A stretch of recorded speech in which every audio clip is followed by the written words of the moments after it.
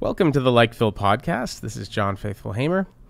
Today we're going to be talking to Jonathan Kay, the editor of Quillette, or editor of the, the Canadian Bureau of Quillette. Uh, Jonathan Kay has been on the podcast before. He's a friend of the podcast.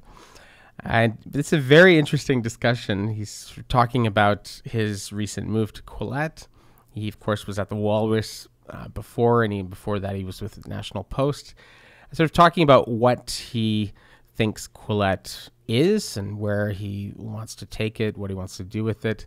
He also talks about his recent attendance at the Heterodox Academy uh, conference in New York City, which is very, very fascinating. Uh, but I'm not going to give give that away. Uh, before that, just some housekeeping issues. Uh, if you'd like to support the Likeville podcast, we need your support. There's a couple of ways you can do that. The most obvious one is to get, become a Patreon supporter of the podcast. Uh, you can do that by going to www.patreon.com slash podcast. It costs uh, a lot of money to produce these things and make them. And if you think this kind of long form, uh, unscripted, civil, re- reasonable conversations uh, are useful. If you think this kind of discourse is useful and you want to support it, then please do so. Uh, also, just to keep in up to date with what's happening with the podcast, there's two ways to do that. Uh, the first one is to become a member of our Facebook group. It's just called Likeville. So if you type that into the search bar, you should find it. Uh, also, you can start following us on Twitter. Our handle is at the Likeville Pod and we will keep you know, updates there about upcoming guests. You can sort of tell us questions you'd like us to ask them, um, all sorts of other stuff. Also, you can support us by liking us on iTunes, by sharing our podcast with your friends, uh, with your enemies. if you're uh, if you have a podcast of your own, you can discuss uh, things that we're discussing on ours. If you have a blog, you can mention the podcast on your blog. Uh, if you have a problem, I mean, we mainly uh, put our stuff through iTunes, but if you are not a big fan of Apple, you can listen to the podcast on overcast.fm. And as, as I've mentioned before, we are trying to get on Spotify. Uh, we're awaiting approval. As soon as that happens, we will let you know. And of course, we will let you know uh, through Facebook and Twitter. Right. So, this podcast is brought to you by our Patreon supporters, as well as Else's Bar in Montreal in Plateau Montreal. It's an amazing bar. It's the best place in the city, in my opinion. It's a real neighborhood place. If you're visiting Montreal, definitely check out Else's. Else's is where the locals go as opposed to where the tourists go. It's a fantastic place, really great atmosphere, great food. Uh, you'll love it. Uh, this podcast is also brought to you by Good Mix, which is a delicious sort of granola seed paleo mix that you put inside your yogurt and you have it for breakfast. It's absolutely delicious, really, really healthy, very good for you, fills you up for hours and hours and hours. Uh, it has great effects on your digestion, all sorts of things. Uh, really, really great stuff. And there's some links to Good Mix. This podcast is also brought to you by Seb Furtado Photography. Uh, Sebastian Furtado is a professional fine art photographer who is offering private online one on one classes for those who want to drastically improve their skills in photography.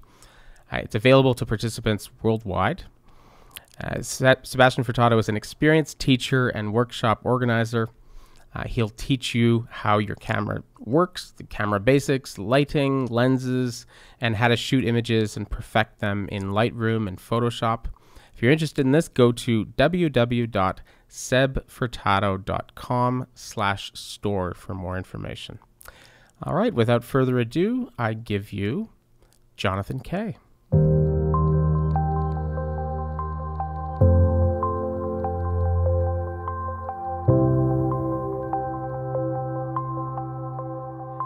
Welcome to the Likeville podcast. This is John Faithful Hamer. Today we're going to be talking with Jonathan Kay about his new gig as an editor at Quillette. So I, all right, hello, John. How are you? I'm very well. I'm very well. So you are the, what is your title? You, you're the you're the editor of all the Canadian content, or because it seems to me like you are having a hand in the the project as a whole, not just the Canadian stuff. So I'm the Canadian editor, but it's a fairly small operation. So when when articles come in that I think uh, I can be useful as an editor, um, I'll, I'll, jump in on those. And likewise, there are Canadian authors who aren't always suitable for me to edit. Uh, Quillette publishes uh, a lot of specialists, um, yeah. uh, scientists, and so forth. Um, my boss uh, has a strong interest and expertise in, in psychology. So if someone comes in with, say, a Jungian analysis of such and such, which is way over my head, even if it's a Canadian author, uh, someone else will usually take that project. Okay, so that's that's sort of very similar to what happens with an academic journal, where you the editors of the journal don't necessarily, or even usually, um, have mastery over all of these subfields that they're talking about, but they'll send it out to people who do, right? So. Yeah, and that's that's a particular issue with Quillette because we do exist at sort of the intersection of journalism and science in, in many cases. And so you really do need, I, I happen to have a background in engineering and uh, statistics and that sort of thing. But there are things I, you know, I feel that there are editors who are, who are better than me to handle. Um, a lot of it also comes down to outreach. Uh, because I'm from Canada, I've worked in journalism in Canada for, for close to 20 years. I'm best suited to to reach out to Canadian writers who I know uh, might be good on a particular subject. I can use my social networks, um, and even just you know, I worked at the National Post, I worked at Walrus, and there's just a whole bunch of writers who who I know about who I've well, I've actually started to recruit them to write for Walrus. Uh, excuse me, yeah. to write for right, I, to write for Quillette. Yeah. Oh, that's that's hilarious. That's like calling out somebody else's name in bed. That was awesome. But uh, the the David Brooks has mentioned in a number of his op eds and in his books that one of the things that made American democracy really strong is uh, what he calls sort of middle brow publications, and he says the the high watermark for nonfiction in the United States was the 1950s, and it was largely because you had these uh, these really serious kind of middle brow publications that bridge the gap between uh, expert culture and the layperson. And that, um, would you say it's fair to say that Quillette is trying to be middle brow? I mean, I know that has such a bad connotation these days, but yeah, I, I mean, middle brow. I think probably the word might have meant something differently uh, a couple of decades ago than it does now. I do agree that the kind of publication that Brooks is talking about is extremely valuable. And I think at its best, uh, that that that is the kind of publication that that Walrus is. That is the kind of publication that Atlantic Magazine is. Um, and I think that's the kind of publication that that Quillette is.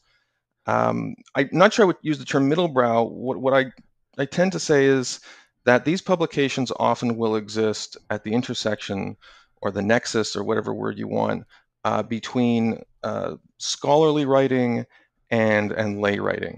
So they're a notch above, or maybe a notch more comprehensive than uh, your your daily newspaper, but it's also not a peer-reviewed journal. But it's a place where people who have the kind of expertise that draw them to state-of-the-art research that's published in, in peer-reviewed journals. This is the kind of place where people will come to to discuss things like that, and sometimes I actually will use the same kind of language. Uh, so sometimes you know you will see language in a Quillette article that you know, it's just not the kind of language you would see in a newspaper article um, because we demand more of our readers. Um, yeah. Yeah. Like in a newspaper article, if you use certain kinds of words, uh, certain kinds of terminology about, for instance, about statistics or about epidemiology, it's, it's just going to turn people off. They're not going to read it. They're saying this is this is wonky. Whereas Quillette, we have the luxury of knowing that if people are on the Quillette website, chances are they are going to stick through an article that is written by a specialist uh, or about a specialty and goes on for maybe a few thousand words in a way that a regular newspaper or magazine article won't. Yeah, this is exactly what I mean. This is exactly what David Brooks has in mind when he talks about middle brow. Middle brow. He, these are he he says these are publications where it was completely normal to assume that that the reader might have to put the article down for a second and open up their dictionary to look up a word that that was uh, you were you're sort of requiring something of the reader that you're you're presuming that your reader is an intelligent person uh, but you're not presuming that they you know they may have to bone up on you know some little details and words in order to follow the argument right? And that's okay right?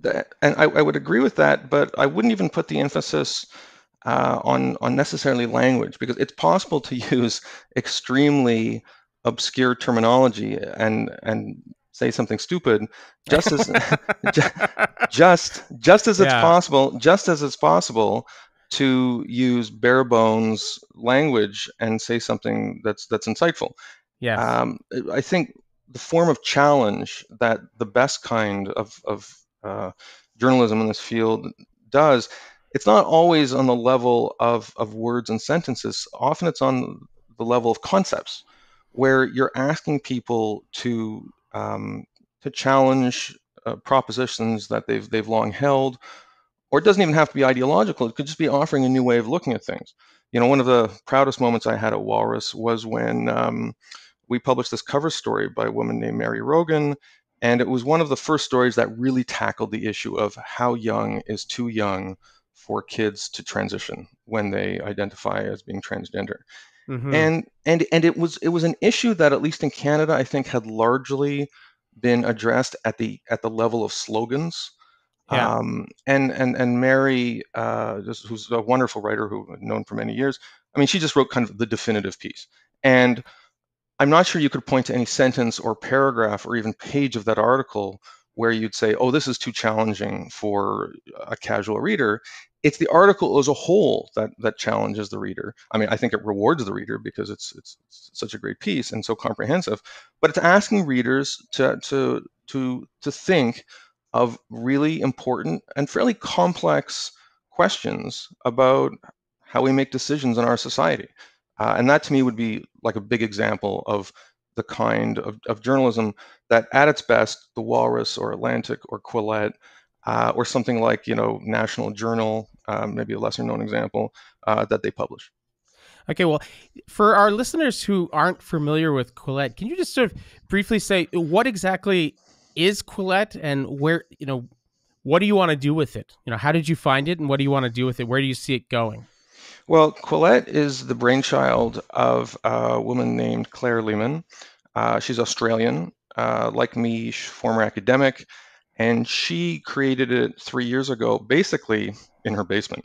Uh, yeah, I, I, think I actually think uh, you know that's not a put down. I think that's how she describes it, and she created it for the same reason that I was attracted to Quillette, because there was nothing else like it. Because the landscape of high concept journalism generally is, is, is tribalized between you know right and left, and you have conservative publications and you have left-wing publications. But that sort of rough tribal differentiation uh, left a whole bunch of people completely alienated. Um, and, and that's people like me who I don't, you know, I'm not really conservative, not, I'm not really a liberal, but I find like a lot of the ideas and questions I ask get me into trouble with one, one camp or the other. And I didn't see any place I could go to for high concept journalism, with some exceptions, that really allowed writers to keep the momentum of their ideas going without there being taboo topics and and areas of inquiry that you couldn't write about because that would upset certain editors or upset certain readers. It Quillette is as close as possible to being an intellectual uh, venue where, as much as possible, shibboleths and taboos are cast aside, and smart people are are allowed to take their ideas to their logical conclusion, uh, especially when it comes to free scientific inquiry, um, and and just generally the, as I said, the intersection of science and the world of ideas.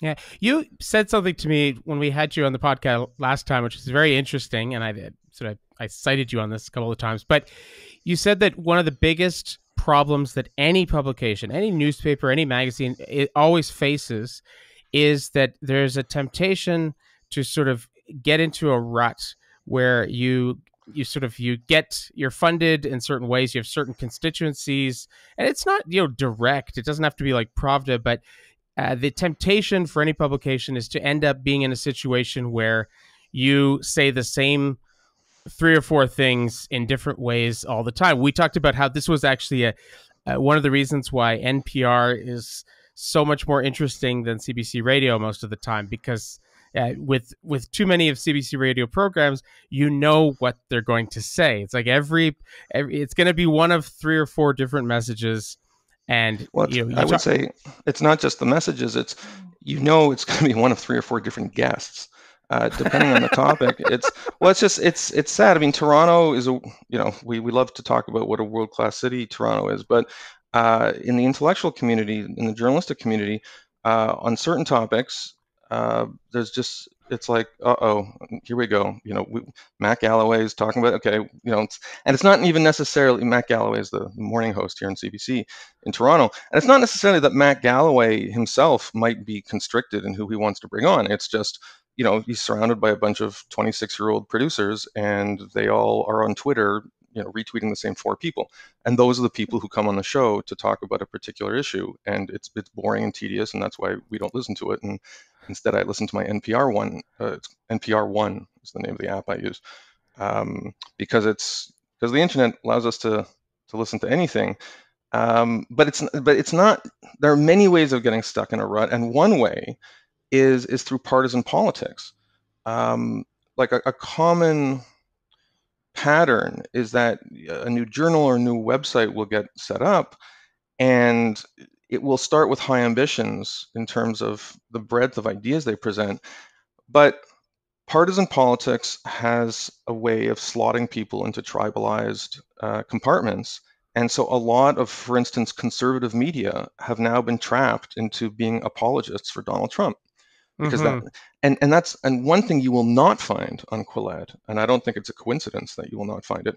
You won't find a lot of stuff about party politics. You won't find a lot of stuff about uh, you know why you should vote for for this party and not that party, or you know why the party A is good and party B is bad. And uh, there's there's more than enough of that in the other media. And and one of the reasons we don't do that is because once you go down that road once your contributors begin to think, okay, this is an outlet where it supports this party but not that party, or it makes apologies for this politician but not that politician, you've gone down the road to getting to that rut you've just described. Um, yeah. So and and that and I, I, had no interest in going to a publication that um, that was a mouthpiece for any particular partisan political entity in, in Canada or anywhere else. Yeah, I mean, practically, just in terms of how do you actually maintain that? Like, how do you prevent Quillette from becoming the kind of uh, news organization that sort of puts out, you know, anybody who's saying one of these sort of five things, we're going to publish that because that reinforces, you know, a pre-existing yeah. of thesis that we have. There's there's a few ways you can do it. One way is simply you you publish people who disagree with you, and um, you know, on, on social the, social media, sometimes I argue I argue sometimes with Quillette's uh, most intransigent critics, uh, who sometimes I feel are arguing in bad faith. But if someone comes forward in good faith and says, uh, you know, this Quillette article you publish, it suffers from this or that fallacy, often the first thing I'll do is I'll say, great, you know, write a response. Um, we're we're open to that. That was certainly my attitude at the National Post. At the National Post, uh, I often would uh, when I was comment editor at that newspaper, I often would uh, would publish people who disagreed because it was it was fun, it was good journalism, and often it it did sometimes change people's minds. Uh, and so that's one way you can do it. Uh, but the other way is just the kind of people you bring into the organization. Uh, Quillette, there's there's only a handful of people who work full full time with Quillette, but what what I love about the people I work with, and I like to think this is true about me, we're not dogmatists we uh, we're not sloganeers. If you look at our Twitter feed, we don't use hashtags. You know, in, in the modern age, one of the surest signs that you're dealing with an unthinking dogmatist is that their social media feed is composed mostly of strings of hashtags. This is no, but I'm this, definitely quoting you on that. but this this is the equivalent of of putting lawn signs out in front of your house uh, or putting little flags. Vote on, Bernie. Vote Bernie. Yeah, no, it's it's it's it's Yeah. the vote Quimby approach to uh, to social media, and a lot of these hashtags I, I agree with, but if you were going to make hashtags the way you communicate with the world, uh, you know, hashtags are s- statements of um, um purpose or of belief or of ideology that by their nature are inflexible because that's that's the nature of that medium. And when you see people communicate in this way it blurs the line between journalism and advocacy. And Yeah.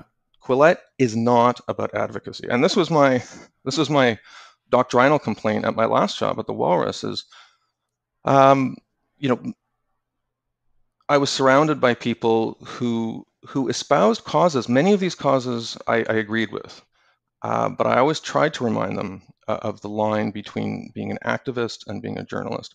And even if it's being an activist in a good cause, uh, reconciliation with Indigenous people, uh, anti racism, uh, anti sexism, uh, if you relentlessly make that the purpose of your role in life as an editor or a writer, um, you should declare yourself an activist and, and find another occupation because, for one thing, the journalism you produce is going to be boring because people are going to see your byline or see your involvement in an article and say, okay, you know, this is uh, a journalistic artifact that was created to advance a certain kind of activist agenda. And as I say, it may be an agenda I agree with. Um, I'm broadly liberal in my politics and my ideology. I just don't use journalism as a way to advance those things uh, in, in, in a sort of monolithic way because then it just becomes boring for the reader. And I think the statistics, the the page view statistics you see from media companies uh, reflects this. Yeah, there's. It's funny. The the great German sociologist Max Weber, he made exactly this sort of argument. It was in Science as a Vocation, and he argued that you basically have to choose between the life of an academic or the life of basically of an intellectual, which he says is very much a secularized version of the monastic life. You you are devoted to truth. You follow it wherever it goes. You have to, or you can become a go into political life and become an activist or a politician, and that is. And he says they're basically doing two different. Um, they're both important, but they operate according to different rules. And if you try and do both, you're basically going to do neither well right? So if you're because your commitment to truth is going to get in the way of your activism, or your activism is going to get in the way of your pursuit of truth. Right. So I I, guess so. You're saying, yeah. So you're saying Quillette is very much, yeah, Uh, I think it's true, uh, and by coincidence, um, that point um, is very much at the heart of the piece that I just wrote for Quillette. I, I think it was posted yesterday on the website, and it's about uh, Justin Trudeau and uh, the controversy surrounding these uh, this 18-year-old groping allegation. And I don't know anything about the truth of that allegation, but toward the end of- my article, I said uh, the big problem with Trudeau is that from the beginning, he has essentially presented himself as an activist for uh, for feminism and for Me Too uh, movement and um, the movement against sexual assault, all of which I completely agree with. I think these are great causes. The problem is it's not the role of a prime minister to be an activist because at the end of the day, you're going to be called on to reconcile um, the fight for uh, the fight for equal rights and the fight against sexual abuse um, and the fight for Me Too, you're going to have to reconcile that with things like due process. Um, and as a politician, that's your role to reconcile these things, to pass laws that are fair to everybody. And sometimes that mean, means making compromises between different kinds of important principles. But when you're an activist, you can't do that because the role of an activist is to set out the maximalist position for a certain activist proposition whether you're an environmentalist or whether you're you know identity politics or civil liberties you set up the maximalist position on behalf of your cause and then you let politicians and judges and legislators uh, hash out the best way to, to make compromises between your cause and other causes but if you're elected as Yeah. prime minister and you declare yourself an activist you, it's completely irreconcilable uh, because no, every principle in our society has to somehow coexist with other principles. You know, the fight against sex abuse has to coexist with the fight against due process. And if you declare yourself an activist for one, then people who, who are concerned about the other uh, principle are understandably going to say this is this is not a, this is not a government that reflects me and this is unfair and when the when the politician himself is caught up in allegations uh, as Trudeau now is all of the hypocrisy of uh, his activist mantras come home to roost because yeah. when it came to, to other people including people in, in Justin Trudeau's own caucus who were accused but not proven to have, have done anything wrong, uh, you know, gone afoul of the Me Too movement, uh, Trudeau responded the way an activist would. But now that the shoe's on the other foot, he looks like a hypocrite. And so I think this is this is something politicians have to be wary of. But I also think, getting back to our conversation, this is something journalists have to be wary of, uh, because uh, some, for a very crass reason that if you become an activist journalist, you're going to sing from the same songbook every time. People are going to get bored and your career is going to suffer and you're going to become a parody of yourself because every single column is going to reflect the same mantras. Yeah, I guess my question to you, I, I, I'm not trying to be annoying about this, but like, I just don't know how you can ever entirely escape that because you're always getting your bills paid by somebody at some point, right? Now, now I, I would not want to relativize. Clearly, there's there's differences, uh, huge differences. But if you are you have a major sort of I don't know somebody who's like paying for a lot of your they buy a lot of advertising and things like that. If you say something against their product or against their particular stance, well, they they might sort of withdraw their funding, and that could that could hurt you. And I remember Claire uh, did a fantastic interview with Jordan Peterson. And one of the questions they talked about was, you know, why have you decided not to have ads? And why have you decided on Quillette? And she said, well, because running us on basically just Patreon, it allows us to have much more control. We don't have to, we can kind of do what we want. We can have long form. We can publish articles and not be obsessed with page views and things like that, which I thought was fantastic. And it's a very solid argument. Uh, the only thing, as we saw with the walrus, you know, is that let's say it, it, you know, I'll say a hypothetical example. Let's say it turns out that 80% of your Patreon supporters are really big fans of, I don't know, Miley Cyrus. right. or Jordan Peterson or you know whatever fill in the blanks and you publish an article and that is critical of Miley Cyrus, right? And now you notice the next day that 20% of your Patreon supporters are gone. And they've told you on the way out, you know, before slamming the door, I'm breaking up with you. When they say specifically, I'm I'm doing this because you said mean things about Miley Cyrus. What you know, are you know what happens there like are you going to think twice before publishing another article that's critical of miley cyrus well first of all I, would like to condemn that horrible stereotype you just gave of a miley, miley cyrus's fan's voice because uh, that's i i'm sure there are miley cyrus fans who speak in uh, you know in a real baritone um, I so I think this is a worry on both ends. So it's a worry when you've published the anti Miley Cyrus article and people are fleeing your site because they're outraged. But the best way to deal with that problem is is is on the front end, and that is to make sure when you're creating content and you're sitting around with other editors.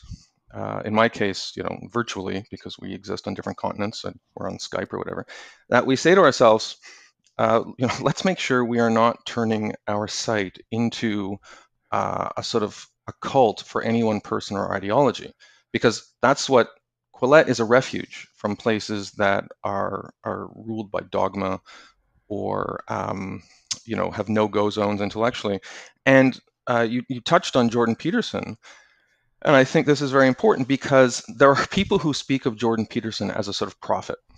Yeah. And and whose dedication to Jordan Peterson goes beyond intellectual and they will watch his videos. And and they will actually you know I, I, know one woman who in toronto who i respect very much and she told me that she went through a period of depression and for two weeks she just watched jordan peterson videos. And at the end of it she said this is ridiculous. It's like i'm becoming a scientologist Uh, but and and I should say Peterson himself does not encourage this kind of cultish behavior. No, but, he really doesn't. But yeah. he's he's he's a very effective speaker, and people do respond in this way. And and I've had conversations with my my colleagues at Quillette, and we say, look, if you know we. Uh, we do run articles that, that sometimes praise Jordan Peterson or at least analyze his ideas in a respectful way. Uh, when we get ideas that, when we get articles that criticize Jordan Peterson in a way that we find interesting, we should run those too. Uh, and we have. And so on the front end, there may be people who say, "Oh, I'm not going to give money to Patreon, uh, you know, to the Patreon account of of Quillette because uh, they ran this article that was critical of Peterson." That's fine because you know you don't have the money you don't have. The problem comes when you go down the road of um, of venerating, consistently venerating a particular idea or a particular person or a particular institution, and then you're beholden to them because yeah. then you you get used to the income stream, and then six months later you do run the article that's critical of, of this person or idea or institution, and then there's a backlash, and then you know then there's no good answer. You either lose all the money or you end up I don't not that Quillette would ever do this. You take down the article or you apologize, and once you've done that, that's you know forget it. You've that's you're just like everybody else when you do that.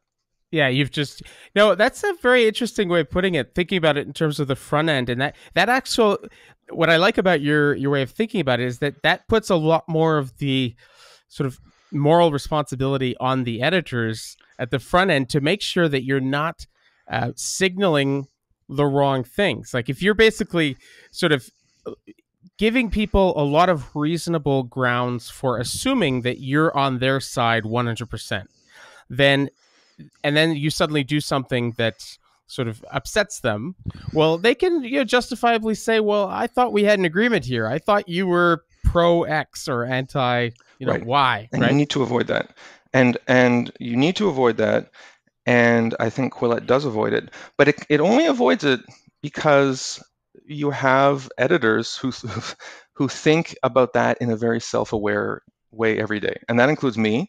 That includes that includes uh, Claire. Uh, we have a, an editor in in London, uh, a guy named Jamie, who's absolutely scrupulous about this sort of thing. And um, th this is you, if you ignore this principle, if you're not self-aware about what we just talked about, yeah, you will lapse into a sort of lazy pattern where you say, well, this this subject always gets hits, this viewpoint always gets hits, this author always gets hits, and you sort of back end into dogma. I mean, not every dogmatist is sort of like the stereotype of, you know, somebody who's in a library with a beret, you know, re- reading tomes and saying, I have decided that I am now a follower of, you know, Freud or Marx or whatnot. It's sometimes you just back into it into it by habit or because everybody in your peer group agrees with a certain sort of thing or because you found that there are career advantages to publishing a certain kind of article. Um, you know one of my complaints about uh, you know, the cbc and the toronto star and, and whatnot is uh, on certain issues they're just always publishing the same kind of article and they're terrified about running any kind of counterpoint to it. And i don't necessarily think this is because the people who are on top of these organizations uh, have a monolithic point of view. They have just found that on on these issues, um, they get lots of compliments and are told that they're very enlightened by their much younger staff, or people on Twitter who have an outsized voice because of the nature of social media when they make certain editorial decisions, and they get themselves into trouble with those constituencies when they make any other kind of editorial decision. And yeah. so, just through this quirk of the marketplace of ideas, as it now manifests itself, they end up creating a fairly dogmatic, monolithic, ideological uh, offering for their for their readers or viewers. Um, not because they're dogmatists or ideologues, but just because that's you know that's the side of the bread that's buttered, and that's kind of they find that's the easiest way to get through uh, the workday with the least amount of controversy.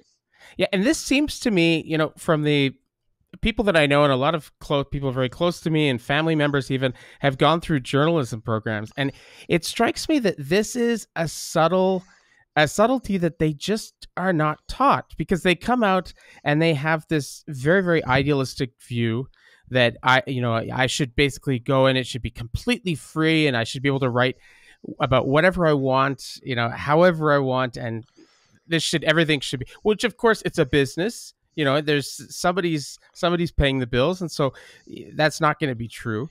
But then they imagine the opposite is that, uh, you know, just straight up like PR, right? Like, and of course there's these subtleties where people who are very well intentioned can fall into these patterns without even realizing it. But one example I wanted to actually bring up with you is you of course you know your hometown here in Montreal has been ripped apart by this whole Slav as slave you know controversy this and what you see there is the for the most part the French press has sort of lined up uh, behind supporting the production and the English press has lined up uh, behind supporting the activists and a lot of what they're saying doesn't even so much have to do with the production. It has to do with existing battle lines, right? Yeah. Here's an example to prove that you know French people are racist and we're more enlightened. And oh, here's an example to you know prove that uh, you know the English North America has lost its mind with political correctness and all this other stuff. Yeah. So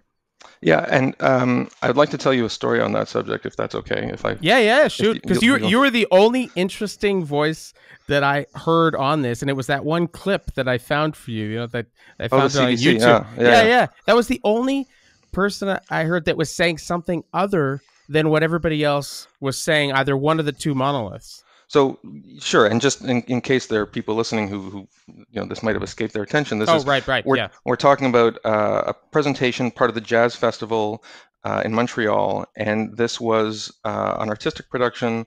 Uh, you know, famous, uh, famous artist Robert Lepage, and the theme was Black slavery.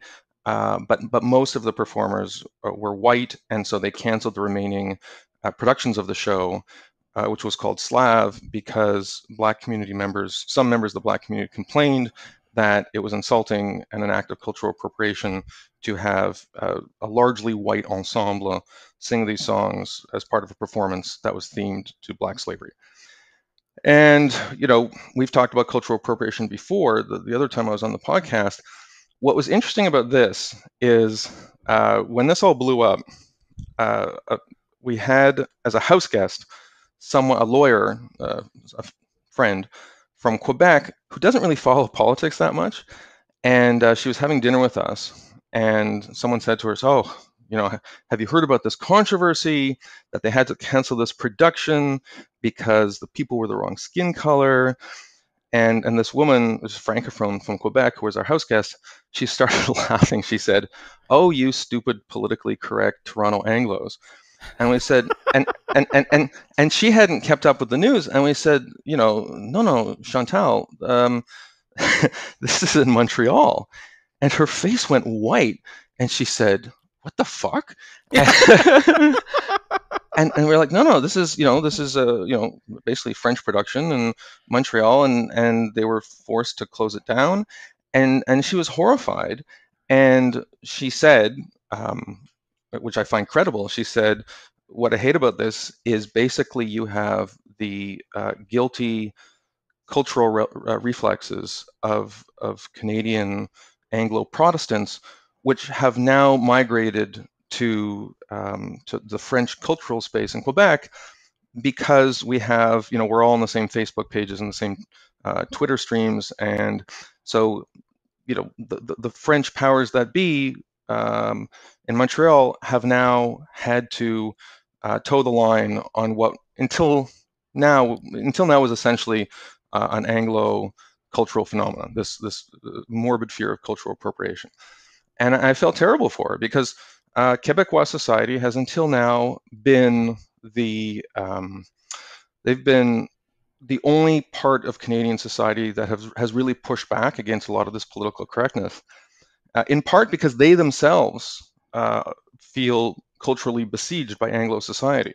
So they have much less time than Anglo society, which feels itself as part of the monolith of North American Anglo culture.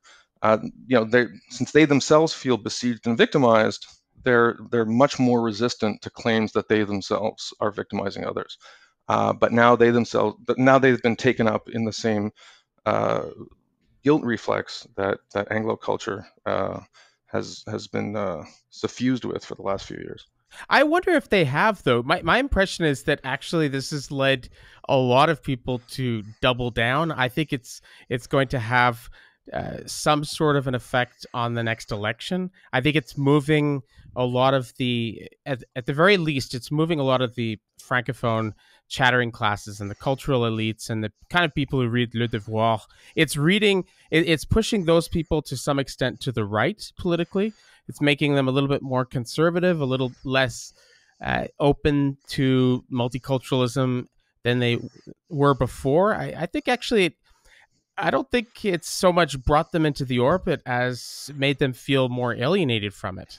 I right? think um, I think there are a lot of people of good faith in Quebec. I grew up uh, in Quebec, and um, although my French is bad, I um, I'm very proud of my my Quebec roots. And I think um, in Quebec, as everywhere else, the idea is that multiculturalism is at its best when it, it expands our cultural options. And it expands the viewpoints to which we're exposed. It ex expands the, the, the books and the movies and, and the food, everything that we're exposed to. When multiculturalism becomes a strategy for censorship and shutting people down and putting people in boxes and telling people to stay in their lane, that's the worst part of multiculturalism. And I think Quebecers, um, to the extent they're reacting negatively to uh, this controversy, I agree with them.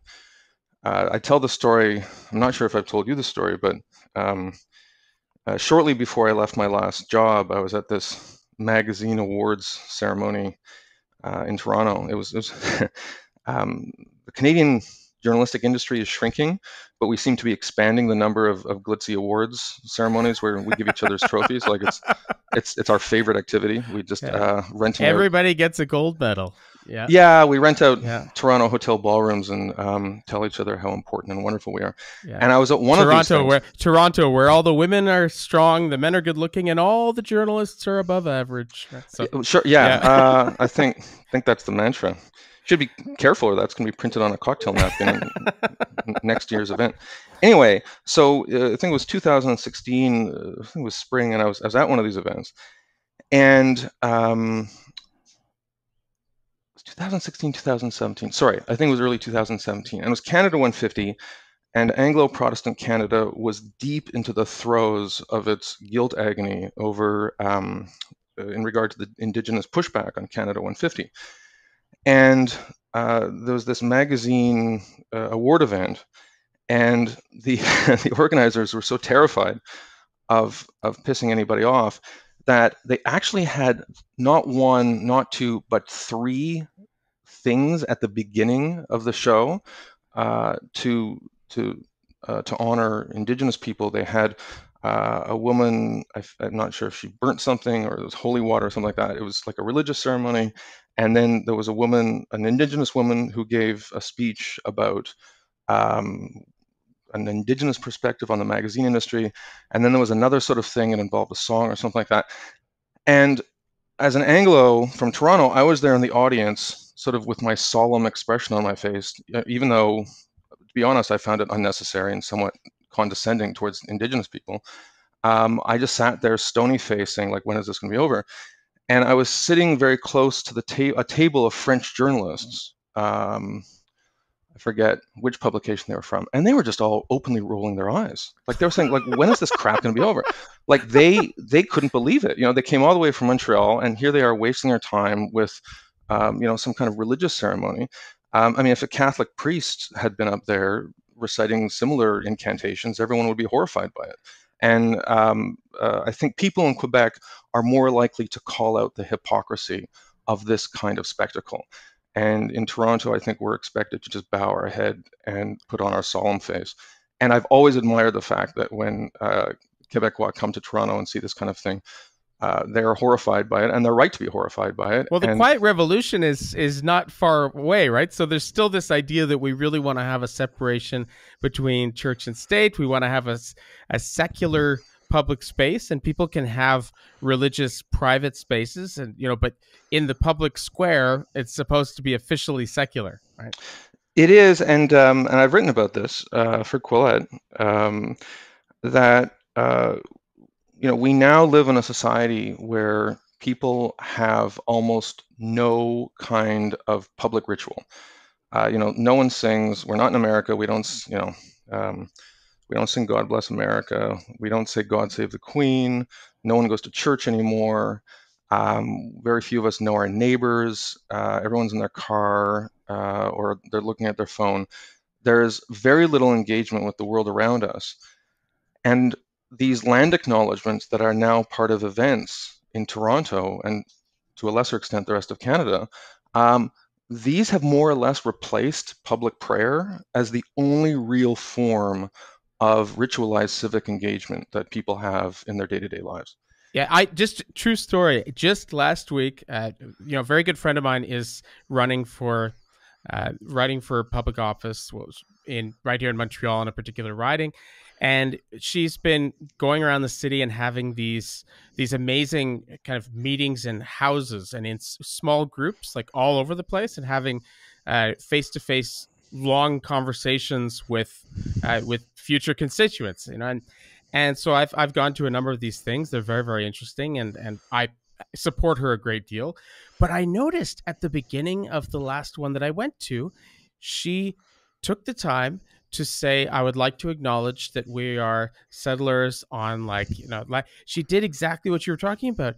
And it it was kind of it was kind of uh, amazing. I thought well this is exactly like when I've had you know I'm a Christian I'm practicing Christian and like when I've had let's say a big uh, baptism party or Easter party at my house you know when one of my kids was just getting confirmed then you know you invite a lot of people back to your house and you have a party and you know it'd be people from the church or not right? All sorts of mix. But my pastor at the beginning of before we ate would say a couple of words and say a little prayer right? For me doing that in a secular environment strikes me as incredibly weird and really kind of inappropriate and it, it, it makes me it feels like a violation of some sort of profane and sacred barrier that we should be like i would never in the classroom for instance at john abbott college i would never in a million years uh, you know talk about my religious affiliation and, and, get up and say can we say say a short prayer before you start this exam? I mean you know what i mean? Yeah it's... but you have to look at, at the at the emotional appetites that lie behind these things because uh, you know you you're religious uh, but most people aren't. Uh, at least I should say, that, you know, most what, what Stephen Harper would call call uh, old stock Anglo's. Um, you know, there's a around the corner from where I used to grow up on Dufferin Road. There's there's an Anglican church that uh, now has become part of Solomon Schechter. Uh, so you know, churches are now being turned into daycare centers and condos. That's the uh, best. Yeah. There's actually there's there's a, a Unitarian church um, uh, here in my neighborhood that's now become the de facto synagogue here in Toronto. That's where people have their bar mitzvah class. But my, my point here is that um, people have certain emotional appetites. Um, and one of their appetites is they need an explanation of human sin, they need an explanation of human evil, uh, they need uh, practices and uh, and rituals that they think can serve to publicly absolve themselves of the stain of sin that is the residue, even for secularized people, of Christian thought. And uh, these land acknowledgements have become uh, a way for people to deal with these impulses that they don't know quite know what to do with because we live in a secularized society. And um, and if you look at the, you know, and there's a grain of truth to it. There was more than a grain of truth to it. I mean, there's many, many horrible things were done to indigenous people. I don't think any reasonable people would, uh, any any reasonable person would say that's not true. But the sanctimonious and often and deeply hypocritical way it's become part of the fabric of of of uh, civil society uh, is worrisome, and it is hypocritical. I point out that in Toronto, many of the people uh, the wealthy Rosedale types who bow their heads lowest during these land acknowledgements in Toronto, you know, they then hop into their Land Rover and they drive up to Muskoka uh, and they go to their country houses, uh, many of which are very close to places that were were thriving, settled areas uh, for Indigenous people before the Europeans came over and took their land. And if somebody said, "Hey, uh, you know, that's a lovely 10-acre lakefront estate you have. Uh, did you know that that used to be uh, land that was controlled by this or that group, uh, they would they would be horrified to think that they had to give up a square inch of it, uh, no matter how many land acknowledgments they said when they were presiding over the Ladies Rosedale Book Club or wherever the hell they were singing uh, their uh, their land acknowledgments. I mean, it just it's uh, it's a very hypocritical situation, and yeah, and and and it's a window into, as I say, the the emotional appetites that people are left with in a post-religious society.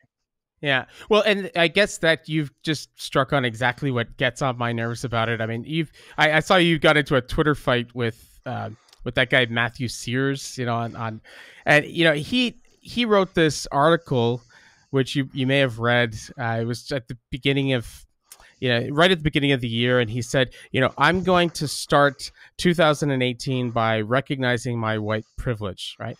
And it's this whole uh, argument about how like my white male privilege, straight, and all this stuff.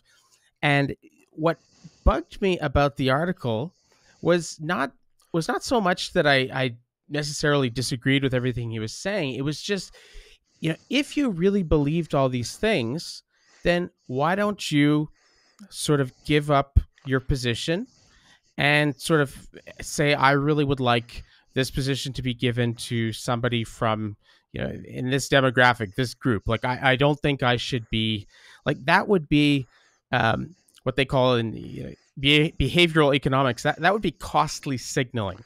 That would be signaling that you actually it costs you something. What bugs me is this signaling that doesn't cost the person anything right? But it benefits them a great deal or a little bit.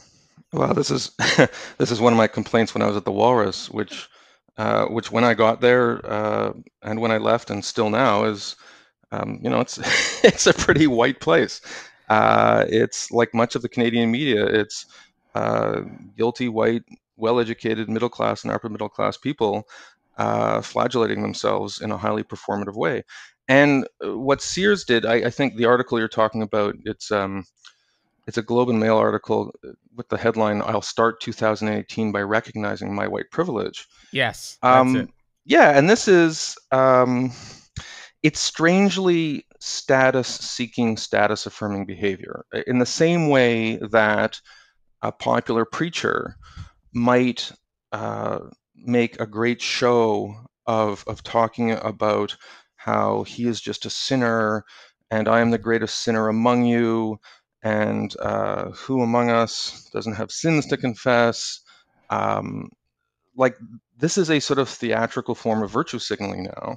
Yeah. And and it's becoming trite. And actually, what's what's interesting now is on Twitter. Some of the most in, interesting people to follow on Twitter are people uh, people of color who who will will call out these whites and say, just just shut the hell up. Like I, I get it. Like just you know, you're white. You feel bad about it. Like we don't need to hear about it all the time. And, um, you know, maybe the best path for all of us going forward is yes, we should stop being jerks and, and you know, for if you see a genuine act of bigotry, you should call it out. Uh, there's no place for racism in our society, certainly not when it comes to, you know, if you're a landlord using race as a way to assign, you know, give people apartments or jobs or whatnot.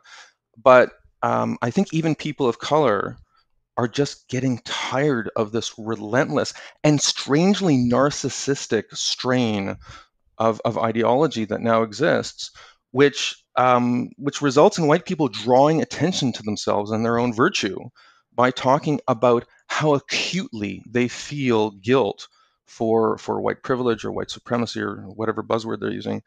Um, and I don't have the moral authority to call them out because because you know I'm a cishet white man.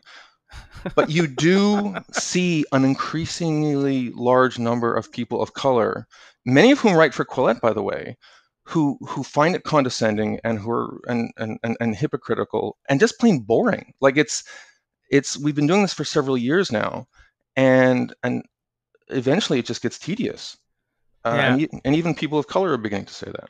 Well, I know that uh, you know I have a lot of family members that are very, very deeply religious in the United States. They're sort of very evangelical, you know, sort of fundamentalist Christians.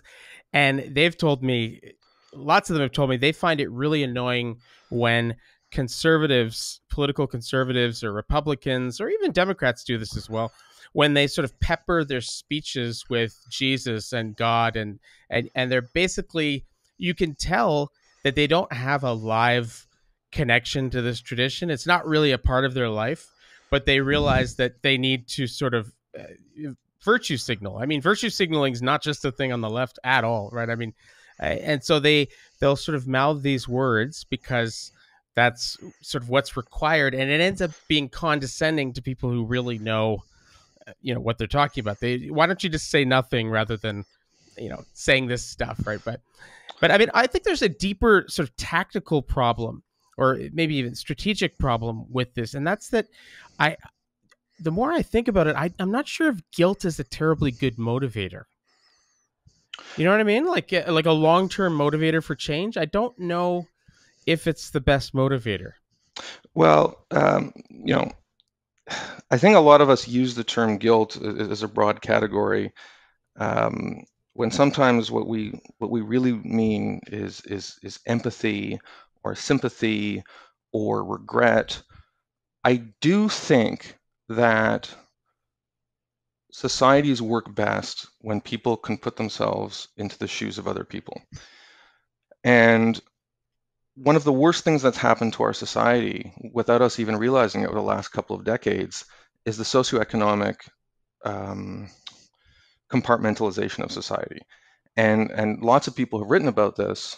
Um, but basically, 50 years ago, it was very common for school teachers to live in the same neighborhood as CEOs and lawyers and police and secretaries and firemen and academic professors. Like there was just sort of there were neighborhoods where there was, you know, or politicians, best of all, because they have to represent all these people. And and there was just a lot of casual intermingling of the social classes. And that's all changed. Um, and par- partially because of our obsession with real estate. Um, where you just have rich people living in rich person neighborhoods and rich people marrying rich people because yeah. you're, you're no longer meeting you know your wife or husband from a neighborhood friend when you're 21 you're meeting them at grad school when you're 31 and so there's socioeconomic self-organization within social classes. And as a result people just don't have any kind of, of empathy or understanding for people in other groups in, in our society. And that's not you know, the kind of understanding that comes from living cheek by jowl with other people is not an artifact of ideology. It's an artifact of lived human existence. And that's the best kind of sympathy and empathy that, that we can hope for because it becomes part of the way we view the world. If your guilt or your sympathy for other groups is coming from a land acknowledgement uh, or coming because you know you took a critical race theory course, then it becomes a, a very brittle and dogmatic uh, uh, piece of, of information that manifests itself in things like hashtags and things like land acknowledgements and, and things like dogma and things like callouts, where because it's not part of your lived experience and you're insecure about it, you end up projecting that insecurity by just relentlessly calling out other people on social media when what you're really doing is signaling the fact that you yourself don't believe that you authentically embody these values because they haven't been part of your life experience. That's why I'm much more concerned about the lived reality of our society, which is that poor people and rich people don't live in the same neighborhoods anymore, or even middle class and rich people don't live in the same neighborhoods anymore. I'm much more concerned about that than the passing fashions that you see uh, in the academy or in activist community. Yeah, no, that's that's a really really interesting point. That's also uh, Jonathan Haidt in his book uh, The Righteous Mind Why Good People Are Divided by Politics and Religion. He makes that uh, point. He goes on at length and he says, you know, it used to be that uh, Democrats and Republicans in Washington, D.C., they lived there, right? And so their kids would be on the same soccer team. Your, your daughters are in the same ballet practice. They go to the same schools.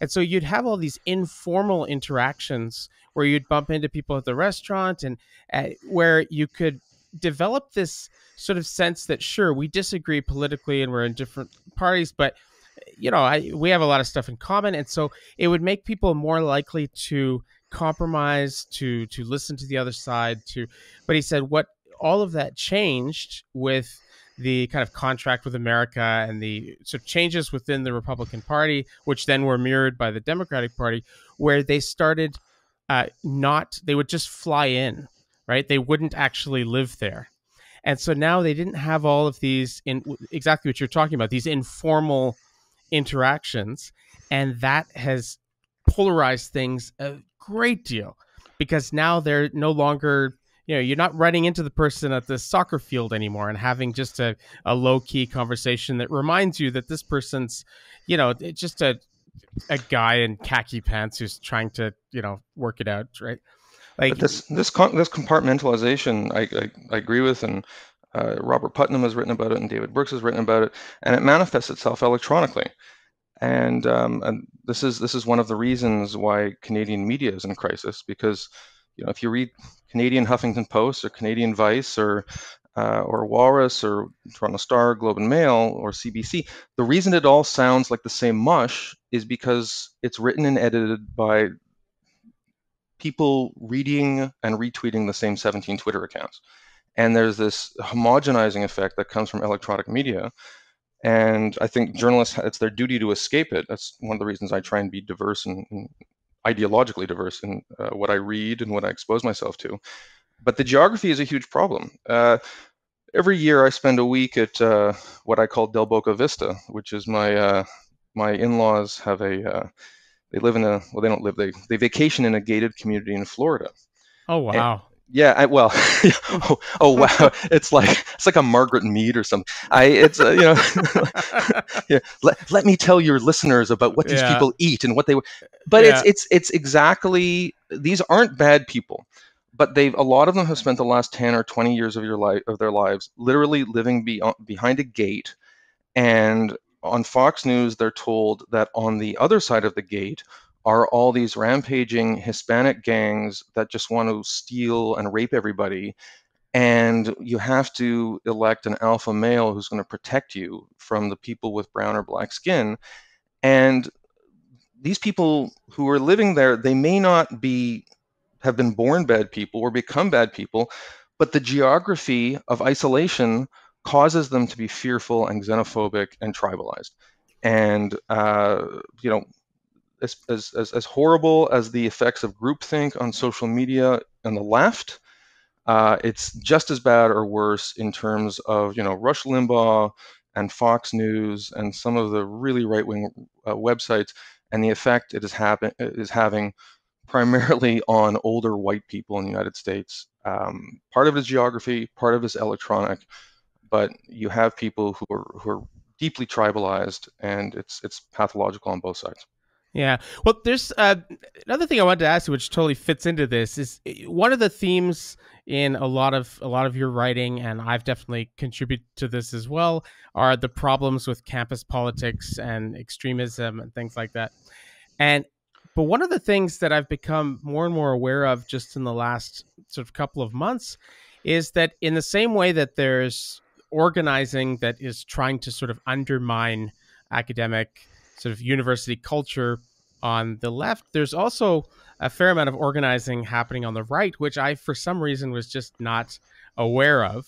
Right, there are actually the equivalent of kind of training camps and conferences where sort of uh, conservative activists, right wing activists go and they are trained and they hear motivational speakers. It's like almost like Jesus camp, and they tell them precisely how to go back to their campus and how to sort of provoke uh, some sort of issue, how to cover it, you know, what to say to the what to say to the newspapers, what to say to the reporters, and things like that. So I don't know what I mean. What do you make of that? What I make of it is, first of all, I think that's largely an American phenomenon. I think in Canada, uh, I've spent some time on campuses uh, giving speeches and talking to students uh, for my podcast and whatnot. And I, I, think in Canada, this is in, at its in its infancy, uh, if it exists at all. It's one of the reasons people are so fascinated by Lindsay Shepherd at Laurier is just there's there's just so few other people like her.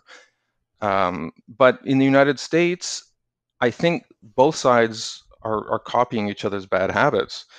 Uh, I heard a very interesting presentation from uh, a guy who works with a group called FIRE, uh, F-I-R-E. It, it, basically, it's it's a, uh, a group that promotes uh, free speech on campus. And and one thing people don't realize is you know these trigger warnings we always talk about and we always Yep, make fun yep. of. Um, on many campuses, the the people who complain most about trigger warnings are not left wing students. They're religious students who complain because a sexual theme has been introduced into their course materials, and they complain that they find it very triggering. And so this this thing that maybe originally, you know, it was for snowflakes who didn't want to uh, you know, read about anti-Semitism in in uh, Merchant of Venice or something like that. Uh, you know, people on the right have been more than happy to co-opt that whole idea of snowflake, uh, eggshell, trigger warnings, all that stuff, and um, so it's happening on both sides. I would also say what's worse now than when I was on campus is because everything on social media is permanent, students no longer have the right to be stupid you know, when I went, you know, th- there, there may be people listening to this who who went to school with me uh, at McGill University in, in the early 90s, and I said, and sometimes wrote all sorts of stupid things. Yeah. And uh, and I think a lot of people who are now middle-aged journalists also said and wrote stupid things because saying and writing stupid things and having people tell you they're stupid is one of the ways we learn. Mhm. And uh, but those were the days when you know it wasn't captured for eternity on uh, on the internet and i have a huge amount of sympathy for students these days and i understand maybe why they're very politically correct when they know that one wrong tweet can have an effect on their career prospects five or ten years later and if everything i wrote or said were preserved everything from McGill University, uh, I mean, it would just, I'd be unemployable. And I think the same would be true with everyone I went to school with.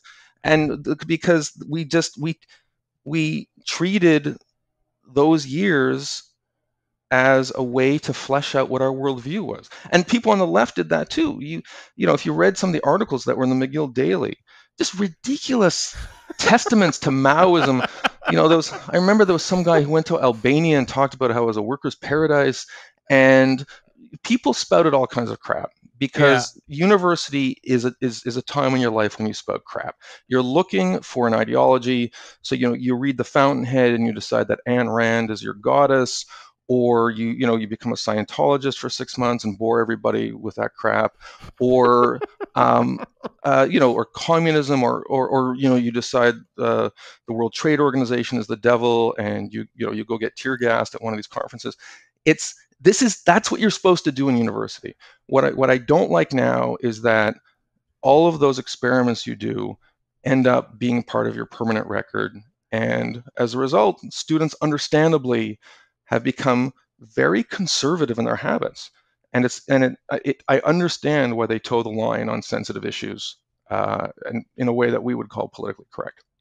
Yeah, I just I wonder if we maybe need to spend more time talking about the threats to free speech that are coming from from the right, you know, as well, because it seems to me that I definitely underestimated how serious that was. I didn't realize that there were people that were sort of it's it's the classic problem that Karl Popper talks about. Like if you have some a political party in a in a democracy, if you have a political party that says if we are elected, we will cancel elections.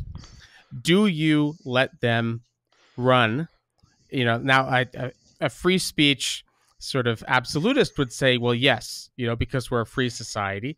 Uh, but you know, there's other people who are very committed to free speech who would say, look, if you're if part of your platform is you're going to take away my free speech if you get power, then you don't, you know, you don't get free speech. Right? I think, uh, yeah, except I think there are very few examples of of genuine communists or genuine fascists or genuine um, anarchists or or hate mongers um, who who are trying to speak on uh, speak on campus. Uh, you know, I, am sure you know when I was younger, you had people like Keegstra and Ernst Zundel. Um, I mean, people forget, like you know, Keegstra was, you know, he was he he he taught students. He was a teacher. I mean, there are examples in our legal history of people who were like really true hate mongers who had positions of authority over students and stuff like that. And in those cases, I think there is an argument for Section 319 of our, our, our criminal code here in Canada, which is, is a provision against hate speech. But most of the time you hear about free speech controversies, they're about people who who don't have views like that. Like, you know, Jordan Peterson has caused near riots at several universities. You know, at Queen's University, someone was arrested because police said they had a weapon with them. It was, I think it was, yeah, it was like a garrote or something. Exactly. Yeah, yeah it was really, yeah. really, really creepy. And this is a guy, Peterson, who like the most controversial thing he has said is that he won't use invented pronouns. He will call, you know, he will call you he or she. Now you you may say, okay, well, I find it offensive that he won't call me, you know, Zig or Zoig or whatever, but that's a far cry from you know let's throw purple people uh, in camps or let's throw green people out of the country. Like the people who are causing the most controversy and this is by the way and now we're getting into why people some people are quillette drives them crazy.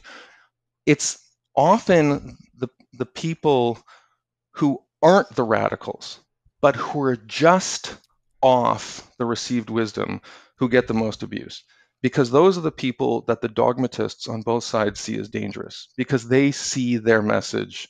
You know, if, if you say, hey, I'm pro choice and I believe in affirmative action and all that stuff, but I don't believe that we should use invented pronouns, that's the person who's most dangerous to the dogmatists because they appear to be reasonable and those are often the ones that get trashed the hardest on social media like if yeah. you look at, at, you know like you look at twitter and some of these mobs the people who get mobbed the hardest it's usually a woman who is on the left who says the wrong thing on jezebel or on huffington post or pisses off the wrong person but is basically a progressive but they're the person who gets mobbed because it's extremely important for both sides to keep their own foot soldiers in line.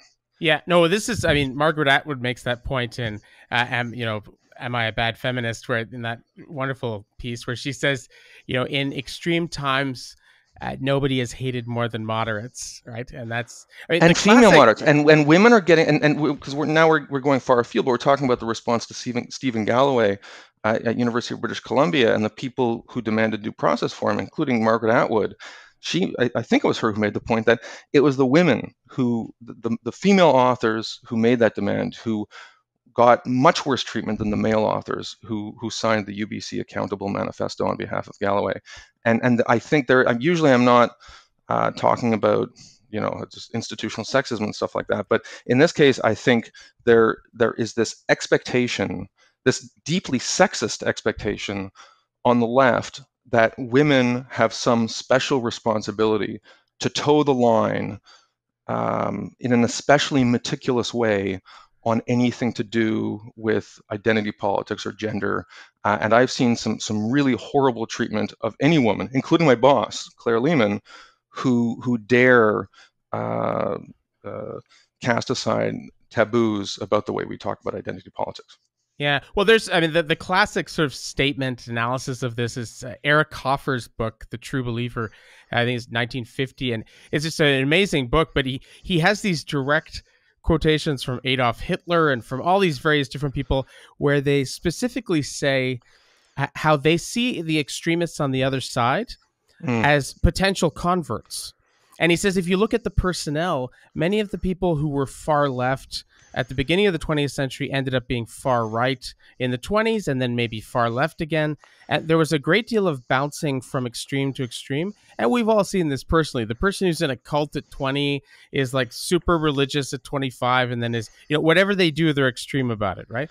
And he said where there's not a lot of movement is around sort of liberal moderates uh, center Democrats, like people in the, and that's why they're viewed with special hatred because they know those are the people that are a real problem, right? They're the you're not going to move them. The communists hated if you were if you were a Bolshevik in the interwar period, the person you hated most was the Menshevik, and the person who you hated most after the bat, after that was the Social Democrat, because those were the people who um, they were competing for your oxygen. And and and and those are the people who you had to bring online. Uh, and about the, the sociological pattern you're describing, uh, George Orwell uh, put it quite well. Uh, he was talking about he, how many of the most dogmatic communists that he knew uh, a few years before had been extremely fervent Catholics. and and they and, and and like in the space of a few days they they converted to communism and he, he it was brilliant insight. He said what these people are really attracted to isn't catholicism. You know they're, they're fervent catholics. They become fervent communists. What they're really attracted to isn't the catholicism or the communism. It's the fervency. They uh, and, and we have a great example of that. Michael coren uh, who's a canadian commentator uh, who's I think he's had three different religions. He's uh, depending upon what you read of him, uh, but he was like the most militant imaginable uh, right-wing cultural warrior in Canada. Uh, had a Christian TV show, railed against gay marriage, uh, was a, a, huge firebrand on campus. there, yeah, I remember at University of Toronto, there's a protest way back in the 90s when he appeared there. Uh, and then he all of a sudden had an awakening, and now he's writing columns in the Toronto Star, and he's calling out anyone who's conservative as as uh, as wrongheaded, and he's more liberal than thou. And and he's an example of somebody who he's a very smart guy, um, and his brain is so big that he's capable of making a great case for whatever ideology he happens to be embraced, embracing. And so, if you took a snapshot of, if you, you know, he wrote, a, I think he wrote a book. I think it was called "Why Why Catholics Are Right" or something like that. And if you read the book, it's like, wow, this is a stunning manifesto, of, you know, showing why Catholics are right. And then a couple years later, he wrote another book about, oh, you know, it wasn't called Catholics Are Stupid, but it was basically like why he didn't believe any of that stuff anymore. And that was also a well-written book. But yeah. this is this is someone who who is addicted to the idea of of having a strong, um, uncompromising view of the world, but he doesn't especially care what that view is. Yeah, no, that that's exactly Eric Hoffer's point. He talks about that, but it's funny because Ignatius Loyola, when he was going before the Pope and trying to set up, you know, the Society of Jesus and trying to get funding for it, uh, to prove to the Pope how powerful and useful rhetoric was, he got up and he gave a speech on a topic and it was long and it was absolutely riveting and convincing and then the next day he stood up before the pope and gave uh, a speech arguing exactly the opposite side and he was just as riveting and just as convincing and by the end the pope was shaking his head and he's like yeah we're going to give him a lot of money like, yeah. we need we need that person you know somebody who can have that give us that skill right and it's so. i think it's uh, we describe it as a skill but i also think it is important that as intellectuals we're, we are aware that there are good arguments on behalf of the other side and that the people who are making those arguments often are making them in good faith.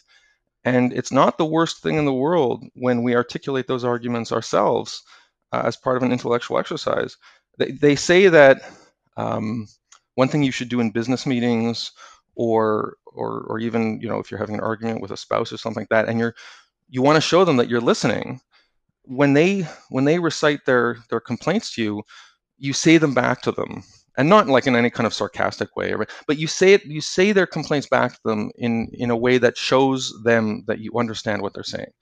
And um, and this is one strategy people have just for interpersonal conflict avoidance and it does work because it it shows that you're not just sitting there waiting to make your point you're actually listening to what their point is. And and this we're coming back to the purpose of Quillette. Quillette is a place where where the people who do write for it and the people who edit it, including me, we do take seriously the arguments of people who don't happen to agree with us. And, and I like to think that in my own writing, uh, I do spend part of my time in, in the essays I write where I, I read back the concerns and the arguments of the people who, who don't necessarily agree with me. Uh, yeah. And I think that's important for people to do. Well, I saw, you know, recently, I just, I saw this in my interactions with you because uh, there was an article uh, in Quillette, and um, and basically it, it was we're talking about the culture at Concordia University, which is my I did my undergrad there, uh, and it was and by total coincidence, I happened to know the professor uh, that you know, that one of the anecdotes was referring to. And so I, you know, I, I, contacted this guy and I said, hey, you know, there's this article in Quillette and it basically uh, mentions your class. And it, it was, it was interesting because he was like, "Oh, that's that's not at all how I remember it, and I remember it like this." And I remember I, I contacted you, and your immediate response was, "Oh, well, that's interesting. Well, he should write a response." Yeah, you know, and I'll uh, I'll publish it. He should write a response to that, and like we can. That seems to me exactly the sensible approach. But that's you know? the. Uh, it's funny you say that because people are shocked sometimes when I say that. Um, you know, we talked earlier about Matthew Sears, uh, this uh, academic at um, Acadia University in Canada, and sometimes he's held up as sort of like this comic book caricature of, of a left-wing guy, and he he does that to himself, unfortunately, because of his Twitter feed. It's like exclamation marks and all caps and stuff like that. But he's a smart guy, and he's written for the Washington Post. And on at least one recent occasion, I I I sent him a message and I said, you know, if you feel strongly about this, you should write for Quillette. And uh, I, don't think he will because he's gone on record as saying that Quillette is is like Der Sturmer, so he probably won't. but but he but he backtracked on you know I was one of the founding members of Heterodox Academy, and he backtracked the other day, and I was very impressed by that. So he Heterodox, said, yeah. So go ahead. You go go no, ahead. He he basically backtracked and said I was I was it was unfair of me to sort of uh, say all these nasty things about Heterodox Academy. I've gotten to know more people and it's it's not that. So he might change his mind about Quillette. So if I could just say one thing about Heterodox Academy, because uh, I went to the a couple weeks ago, they had a big meetup of Heterodox Academy uh, in New York City, and uh, I represented Quillette there, and I heard the speeches, which were great. And Heterodox Academy, as you know uh, better than I do, is that it's devoted to the idea of just bringing a diversity of viewpoint uh, to, to everything what's interesting about Heterodox Academy is their commitment to the idea of bringing diversity of viewpoint to everything and free speech even extends to the meta issue of whether you need to bring uh, diversity of viewpoint to everything and whether you have to allow free speech in regard to everything. And they actually had a panel where they talked about this issue, and on the panel were two people who said, "No, you know what? I don't. We don't think there's a lot of censorship on, on, university campuses, and we think it's fine to have some limit on what people can say." Uh, Jason Stanley from Yale University uh, was one of those two guys, mm-hmm. um, and Angus Johnson from City University of New York, who are two people on the left who who were defenders of, of, of the academic culture.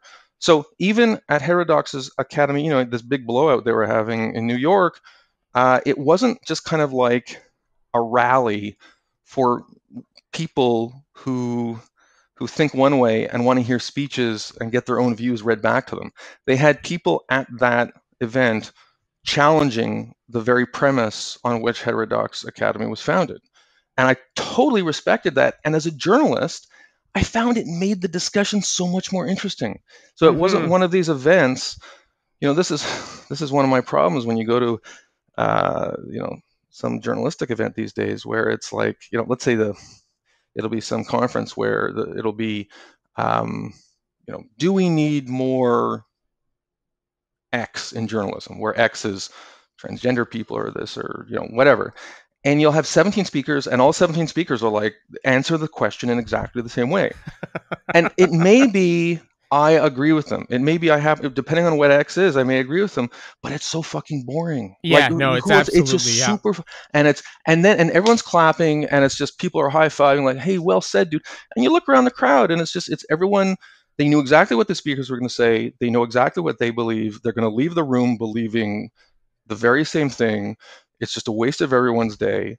And and I hate events like this. And the Heterodox Academy meetup in New York was not like that. And yeah, and so no. Well, I've had a couple of times where somebody has sent me because you know, there were a number of my colleagues and friends were really pissed off that I uh, that I was part of Heterodox, and they said this is you know just a right wing front and all this stuff. And so I would get messages sometimes from friends saying, "Look at this." You know, whatever left wing progressive prof who's getting into is being really persecuted and free speech. How come Heterodox Academy is not saying anything about that? So I, I you know, send a message to to John Haidt and I say like, hey, you know, what are we doing about this? And immediately he would they'd be doing something about it. They'd be out like you know taking a position on it and immediately. So they're very very committed to I the principle that this should be for everybody. That's a super important thing and a super important response. Uh, I try and do the same thing because. Um, you know, there are people who will contact me about free speech issues. I, I, I set up a small fund for it's what I call victims of ideological mobs on campus, and mm-hmm. um, I, I, run it in partnership with uh, a lawyer in Toronto. And uh, when you know when people get mobbed on campus and they have legal expenses, uh, it helps defray their expenses. And people will come to me and they'll say exactly the same sort of thing, like say, hey, you know, I have this friend of mine and you know, uh, B'nai B'rith or Hillel targeted him because he um, he's a supporter of BDS, and I, I, bet you would never support that guy. And I say to them, I 100% support that guy. Mm-hmm. You know, I don't support BDS, uh, you know, boycott, divestment, and sanctions. I don't support that movement. I don't think it's anti-Semitic, though. I don't think it's hate speech. I think if you're a student on a Canadian campus and you happen to be a supporter of BDS and you get disciplined because people say you're anti-Semitic, that's bullshit. Uh, mm. And so I, you know, what's good for the goose, I, I, and, and I think it's very important, uh, as Jonathan Haidt did, you have to be public about that. Uh, mm. Because if, if you believe in due process, if you believe in freedom of inquiry and expression, um, you, absolutely have to be fair-minded about it. And once you expose yourself to the, the charge of hypocrisy, people aren't going to take you seriously, and you just you're just going to be seen as another culture warrior. And we have more than enough culture warriors already.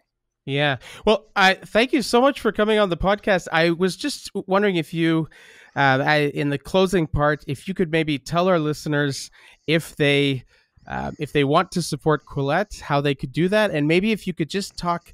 Uh, I know you have another new venture. You've been a very busy bee this year. Uh, if you could talk a little bit about your podcast and maybe just plug it a bit and let them know, you know, what you're doing.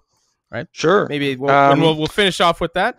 Okay, well, finishing off with self promotion, that's great. I uh, uh, so if they want to find out uh, more about Quillette and especially how to submit to Quillette, uh, which is, is always top of mind for me, uh, if they go to my Twitter account, which is just J O N K A Y, uh, my pinned tweet is um, it's a Twitter thread. I think it's it's not long. It's like a dozen tweets, basically about what we're looking for at Quillette, what we pay uh, what the process is, and um, it's got my email on it, which is just john at quillette.com. Uh, talks a little bit about what I do, how long I've been doing it at Quillette. The podcast that I'm involved with, we've put out three episodes, and we'll have a few more coming out in fall. It's called uh, Wrong Speak, um, and it's available on iTunes and um, Castbox, and you know this, all, all the other uh, software programs that you can download podcasts.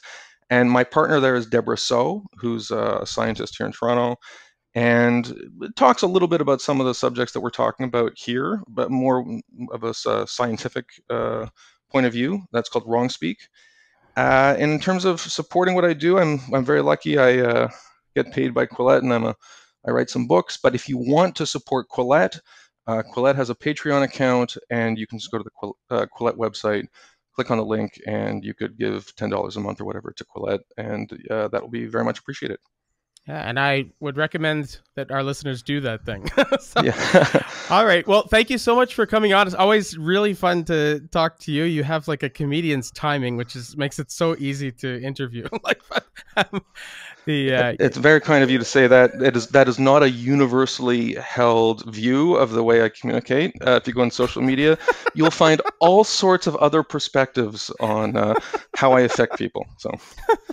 All right. Well, have a wonderful day. And just remember to uh, keep your computer open for a little bit so that the feed gets uh, gets uploaded. I will do that. Thanks. Thanks. I, by right. the way, took a lot of your time. It was an hour and a half. So thank you for your patience. All right. Take care. Take care. Bye. Bye.